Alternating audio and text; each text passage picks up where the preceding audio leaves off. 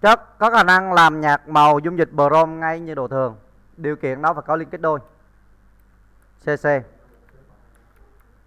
benzen câu A là C6H6 trường hợp này loại.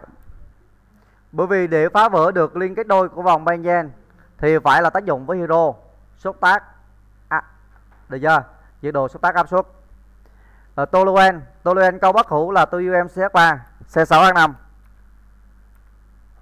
CH3 Styren C6H5 một đôi styren một đôi sti CH2 CH thằng này được.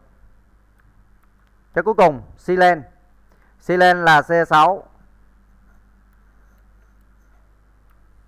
H có hai nhóm CH3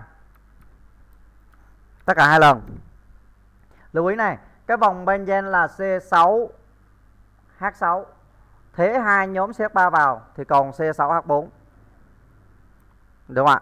Bây giờ ta ghi rõ phương trình. Styren đi cộng với brom. Thì đây mình thu được sản phẩm. Ở đây là vẫn cộng. Cộng như sau. Nó sẽ cộng vào liên kết đôi. Thì bây giờ biến thành liên kết đơn. Brom gắn ở đây. Gắn phía sau này được chưa? Như vậy, ở đây mình chọn câu đúng là câu B. Ở đây ta nhắc luôn, ở trong cái chương, trong cái phần hydrocarbon thơm này, em nhớ thầy được 6 chất.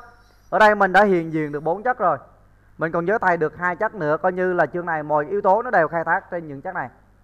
Đó là cumen và phenin acetylene